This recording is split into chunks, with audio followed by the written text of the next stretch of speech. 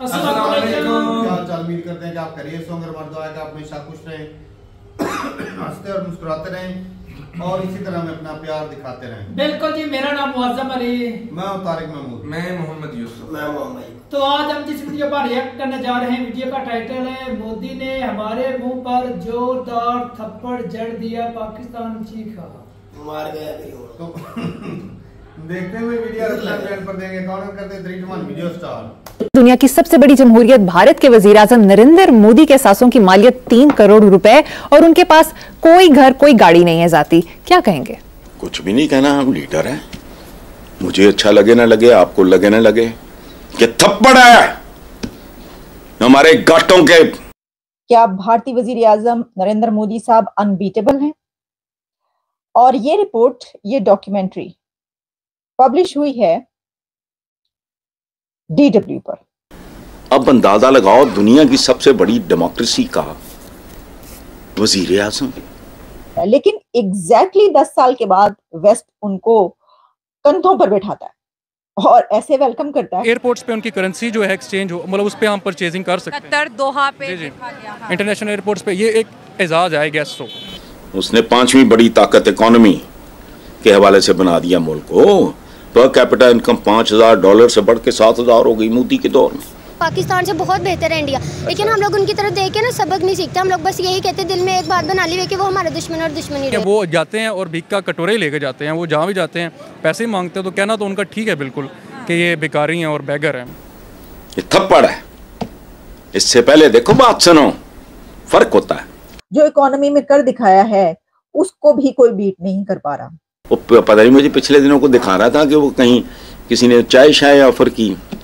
मैं भी गरीब बुरवा वो कहते अच्छी चाय है, मैं तो खुद चाय वाला हूँ तो मुझे चाय की बड़ी पहचान खत्म। वो अपने लोगों के लिए बेहतरीन कर रहा नमस्ते दोस्तों, जय हिंद।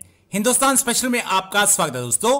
जैसा कि दोस्तों आपने क्लिप में देखा, पाकिस्तानी मीडिया ये चर्चा कर रहा है कि एक तरह से प्राइम मिनिस्टर मोदी ने पाकिस्तान के मुँह पर जोरदार तमाचा मारा है। पाकिस्तान के लीडर्स को यह बताया है कि नेता कैसा होता है।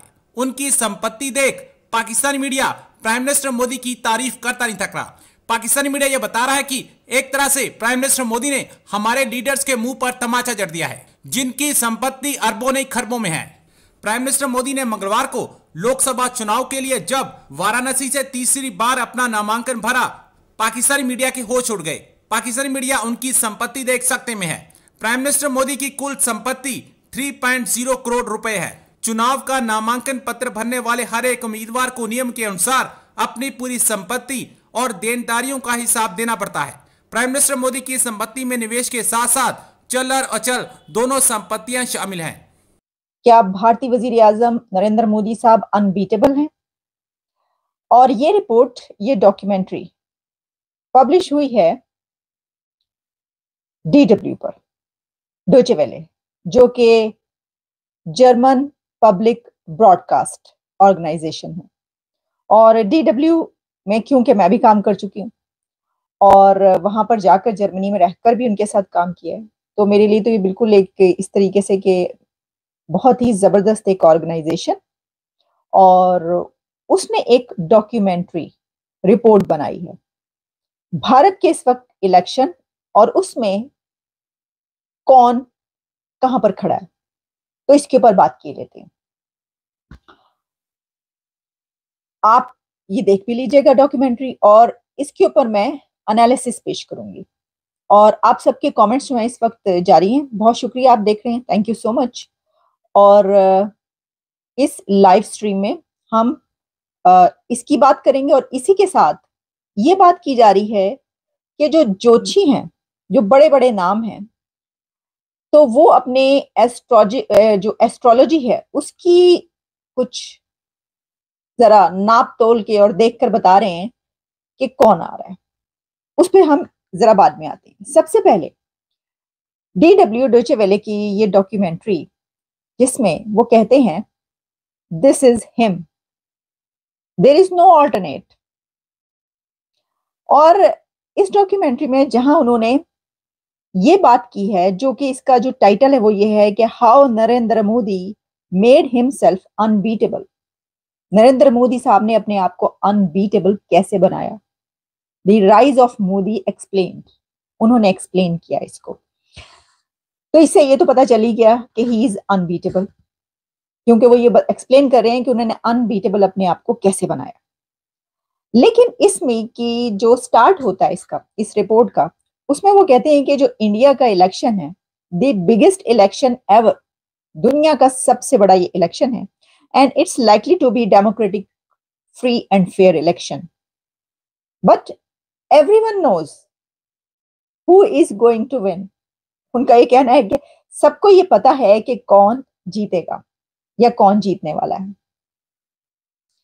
अच्छा फिर इसमें उन्होंने ना सिर्फ़ ये कि इंडिया में रहने वाले जो लोग हैं, उनसे बातचीत की है और उनसे पूछा है।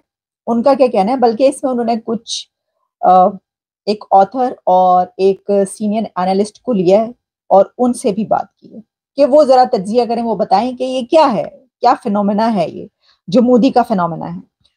तो जैसा मैंने आपको कहा कि उसका रिज़ल्ट यही निकला कि दिस इज़ हिम और इस डॉक्यूमेंट्री में मौजूद लोगों का ये कहना था कि देर इज़ नो ऑल्टरनेट नज़र नहीं आ रहा ऐसा कि कोई अच्छा।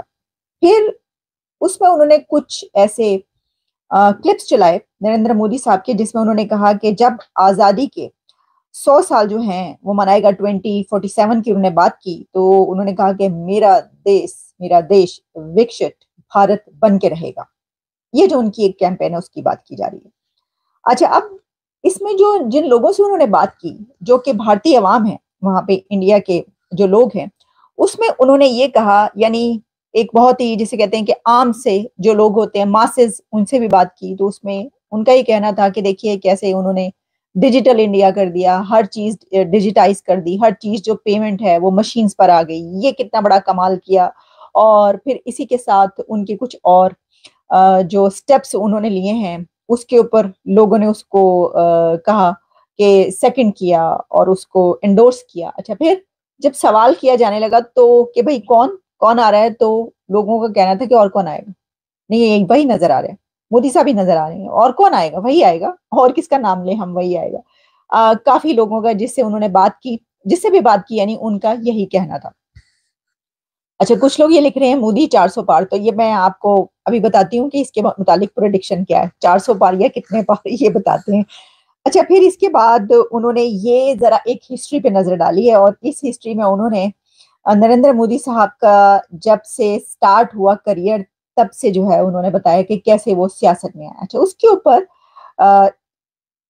ये सुनकर मुझे भी बड़ी हैरानी हुई कि आठ साल की उम्र में, जब वो सिर्फ़ एट ईयर्स के थे तो तभी वो जो आर एस एस है, उसकी मीटिंग्स में जाया करते थे, उसके जलसों में जाया करते थे और वहाँ से उनकी जो सियासत है, वो परवान चढ़ी और इतनी छोटी उम्र से वो इस तंजीम, इस ऑर्गेनाइजेशन के साथ थे और फिर उसके बाद एक वक्त ये आया कि उसमें उनको एक जो ऑर्गेनाइजेशन को देखने वाले होते हैं, वो वाले जो डेजिग्नेशन होते हैं, एक सेक्ट जनरल सेक्रेटरी के तौर पर वो वाले डेजिग्नेशन उनको मिला फिर उन्होंने बड़ा उसके अंदर काम किया।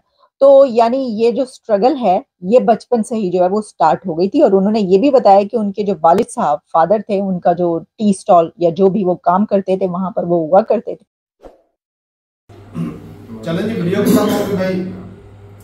इसमें तो कोई दो राय नहीं भाई साहब के मोदी साहब की। एक पहले वीडियो देखी थी, कुछ अर्सा पहले उस वक्त इनकी जो वेल्थ थी टोटल वेल्थ जो थी वो दो करोड़ के ऊपर थी। अब तीन हो अब तीन करोड़ हो गई मतलब बढ़ती जा रही है। बढ़ती जा रही खर्चा तो है नहीं एक बंदा है। खर्चा तो है नहीं पंद्रह लाख का सूट पहन लेता है। वो तीन करोड़ में से हो सकता है पहना हो। तो वो जो ड्रैगन शक्ल का जो चैनल थे उन्होंने अपना बेडरूम बनवा के लाया पंद्रह करोड़ का वो कैसे आ गया? आपने वो किधर देखा? आपने नहीं देखा ये खबर है। किधर से खबर तू ले रहा खबरें मेरे पास है। तो वो भी चाइना से। वो भी चाइना से बनवाया जो दुश्मन कंट्री है। दुश्मन कंट्री से। मोदी साहब ने बनवाया है। भाई बैठ जाए बैठा हूँ कौन सा खड़ा हूँ? अजीब खबर लेके इससे अच्छा तो हमारा शबाज शरीफ है जो तनख्वाह ही नहीं लेता। वो इंडिया में कारीगरी नहीं बेड बनाने के लिए मोदी साहब के लिए। तो फिर सऊदी अरब के अंदर होगा दुनिया में सबसे ज़्यादा फर्नीचर तेरे चीन का जाता है। हाँ तो फिर? तो फिर दूसरी कंट्री में फर्नीचर वाले नहीं है? सऊदी और दुबई में जाते नहीं कर रहा है भाई एक से साहब, बढ़कर तो एक बात- कारीगर पूरी बात दुनिया तो में करता है। है। दुनिया में फर्नीचर के कारीगर नहीं वो वो मंदिरों पे इतनी निकाशी कर सकते तो फर्नीचर निकाशी क्या नहीं मैंने कब कहा कि वो नहीं कर सकते? अजीब नहीं, मुद्दा तू लेके तो बैठ चैनल जाते पे हैं। की बात तो भाई एक चीज़ जो खास बनवानी होती है किसी से बंदा तो वो खास इंडिया में से बन सकती है वो गिफ्ट दिया होगा चैनल वालों ने गिफ्ट दिया होगा। वो भी तो हाँ, तो सकता है भाई, प्राइम मिनिस्टर है कंट्री का चाइना दुश्मन है। वो गिफ्ट कैसे देगा? दुश्मन के वो दुश्मन ऊपर उनका यार हो गया गिफ्ट हो गया तुम मान ले। मान लिया भी गिफ्ट गिफ्ट हो गया। आगे चलो भाई। आगे चलो। गिफ्ट हो गया मान लिया। आगे क्या चलना है भाई? हमारे जो आम बंदे हैं। बल्कि इंडिया के खुद मैंने एक वीडियो देखी थी जिसमें जो बीजेपी के लीडर थे एक बात है मोदी जी सच्चे बहुत है कभी झूठ नहीं बोलते। कभी भी ज़िंदगी में झूठ नहीं बोला। दस साल ये चाय बेचते रहे ट्रेनों में। दस साल थोड़ा कैलकुलेशन में आगे पीछे निकल जाता है कोई नहीं। जाता। है। आर आर एस की मीटिंग भी टेंड अच्छा करते तू अपनी ज़िंदगी बताओ हूँ बहू बता जैसे तुमने गुजारी है। मैंने कैसे गुजारी है? अरे निकल जाता है आगे पीछे। आगे पीछे हो जाती ये है आगे पीछे वो- लेकिन ये है अभी कैमरा इजाद नहीं हुआ था तब इन्होंने उसका इस्तेमाल मैं बताता हूँ भूल। जाता बंदा। मैं। थोड़ा सा आगे पीछे हो जाता है, असल में तुम दोनों को लगी हुई है मिर्ची अच्छा, नवाज़ शरीफ मुझे अच्छा ये बात तो नवाज़ शरीफ जो है ना? इमरान का दो दो ले लेता है। Nawaz Sharif London Dubai Saudi Arab Pakistan New Zealand पाँच कंट्रियों में उसका काम छोटा चलो बड़ा नहीं इंडिया के बिज़नेस मैनों से तो मिलते ही नहीं कंपैरिजन नहीं।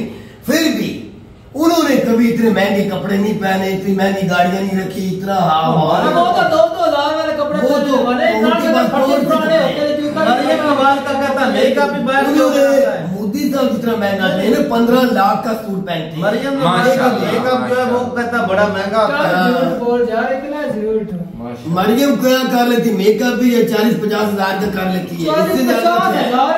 हाँ तो क्या लंदन लाखों का एक आम सादा से दुल्हन का एक और भी यूनिक चीज़ है वो भास्कर ने सोना लगवाया था ना वो मोदी जी। गिफ्ट था भाई। चलो गिफ्ट ही था। जो यार भी महँगी चीज़ है वो गिफ्ट मिल जाता है। हमने कब कहा कि वो खुद से भाई साहब उनकी अजीब बात है। बहुत है। लोग उनको गिफ्ट देते हैं और वो ऑप्शन करके पता है। बेच के गरीबों के लिए हैं। College school. हाँ इस तरह वो के वो फ़ायदा है। अब एक करोड़ की उनको चीज़ दो ना गिफ्ट को मोदी साहब को।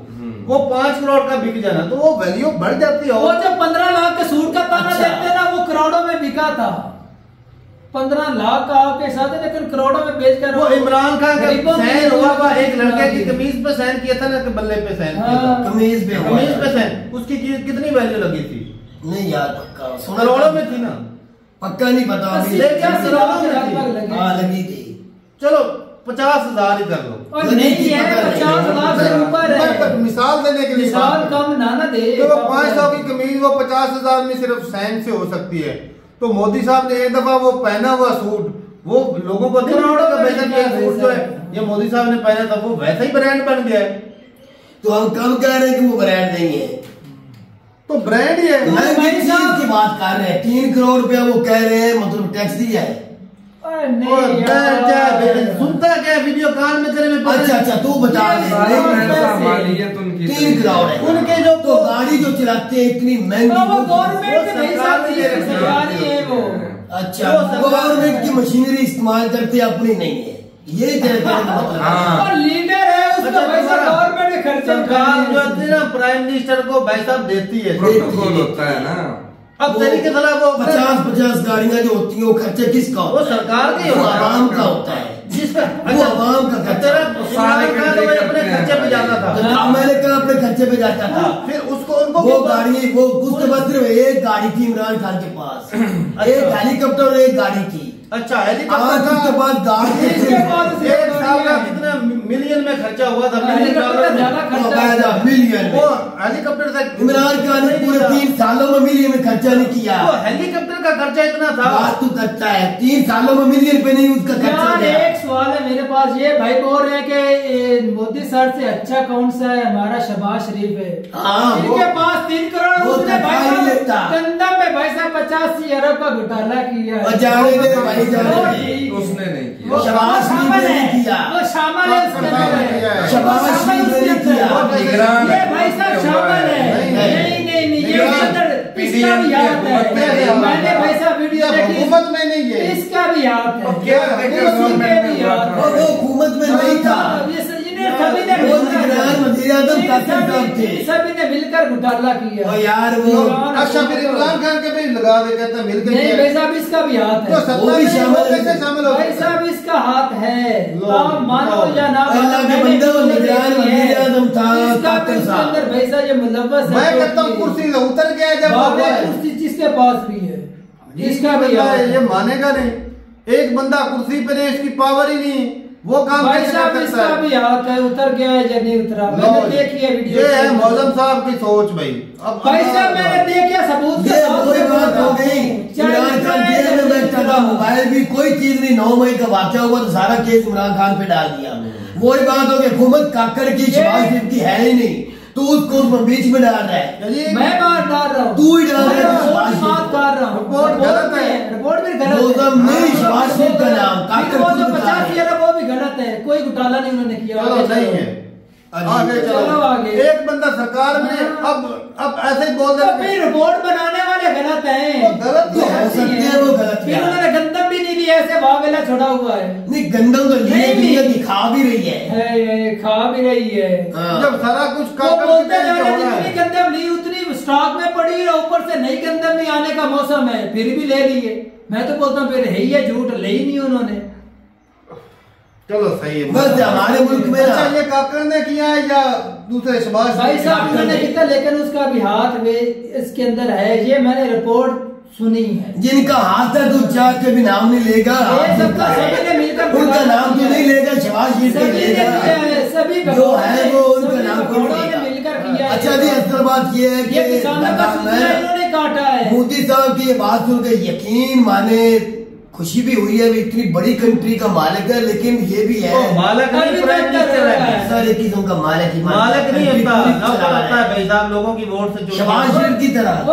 साल मैं गुलाम हूँ। हाँ जी लोग वोट देते हैं चुनते हैं अच्छा जी सरबराह तो कह सकते हैं ना कंट्री के सरबराह। मोदी साहब कंट्री के हाँ, सरबराह ये है कि भाई साहब लीडर है वो कंट्री के। लेकिन हमारे सराजुल हक ने तैतीस साल हुकूमत में रहे उसने उसकी एक अपनी गाड़ी के अलावा कोई चीज़ नहीं। दुनिया में मैं कहता हूँ सबसे अच्छा सबसे बड़ा सफ़ेद झूठ है। ना ना ना ना सराजुल हक की तारीख उठा रहे इंडियन भी गवाही देंगे।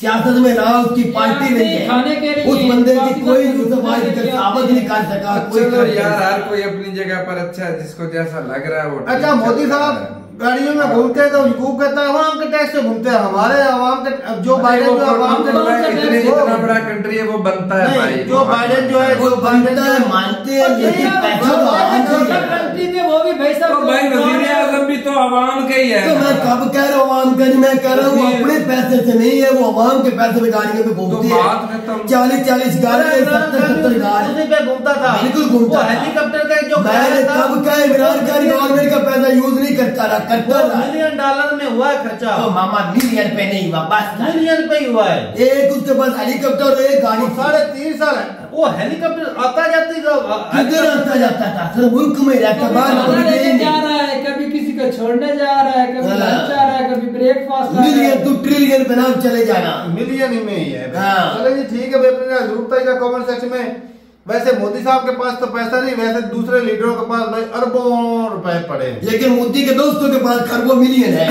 वो तो ये तो है। तो इसके वो दुनिया के अमीर तीन बन गए वो तो है इनकी वजह से। उनके माफ़ भी कर देते हैं। माफ़ भी कर देते हैं वो है लेकिन मोदी चाहते नहीं। होता है। जैसे नवाज़ शरीफ के बेटे नवाज़ शरीफ के बेटे किसी के नाम पे कोई जिलाद नहीं।